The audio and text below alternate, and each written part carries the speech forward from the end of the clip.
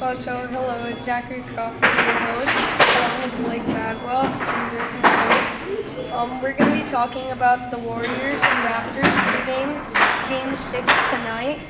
Um, Griffin Cole, what do you think is going to happen with no Kevin Durant? I think Toronto's going to take home the because even with KD out, I, I still think Toronto is a better team.